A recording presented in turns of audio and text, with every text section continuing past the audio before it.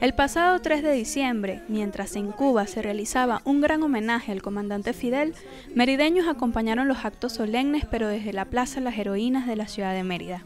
Desde la sierra, por tu obra maestra, no solo recogió las expresiones del pueblo revolucionario hacia el comandante y el pueblo cubano, sino que también permitió reconocer la figura política más prominente del siglo XX. Bueno, estamos acá porque básicamente tenemos que entender que esta es una actividad que es político-cultural en el sentido de político, fundamentalmente en el carácter pedagógico, porque nos interesa esencialmente mostrar a Fidel como ese personaje del siglo XX y que dentro del siglo XXI también marcó una pauta en términos de lo que es la relación de ser latinoamericano. Y cultural no en el sentido del consumo de la cultura, sino la cultura emancipada de la que estaba hablando Alberto Rodríguez. Creo que nosotros en este momento debemos volver a reconocer a Fidel.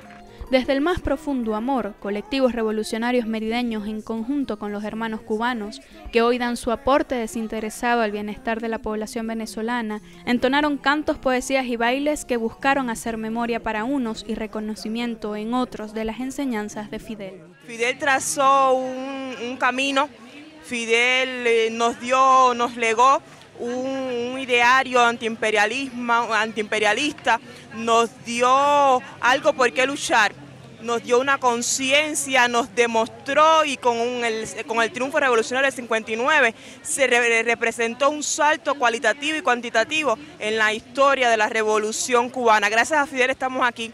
Gracias a Fidel estamos prestando un servicio de calidad, orgullosos de ser revolucionarios, de ser fidelistas, de ser cubanos y estar aquí junto al pueblo venezolano. Creo que Fidel Castro trabajó incesantemente por crear una relación de integración, de independencia, de soberanía y una relación también de fraternidad, de identificaciones de apertura a la diversidad que no era frecuente en periodos anteriores.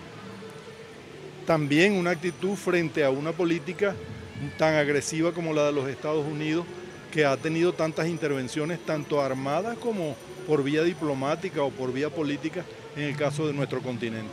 Yo creo que hay tres elementos importantes. Uno, eh, el patriotismo.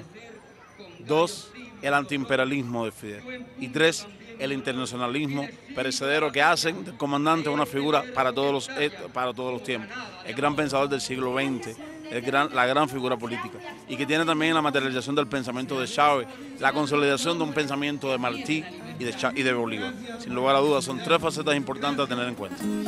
Y delante de la caravana, lentamente sin jinete un caballo para ti. Inmenso. Una frase, una expresión, una figura del siglo XX, la más destacada figura del siglo XX, así reconocida hasta por sus adversarios. Cuba, el mundo, eh, amor eterno a la humanidad. Gracias, muchas gracias, por siempre, gracias. Recordar entonces las palabras del maestro que dijera, dígame Venezuela en qué servirle, ella tiene en nosotros a sus hijos.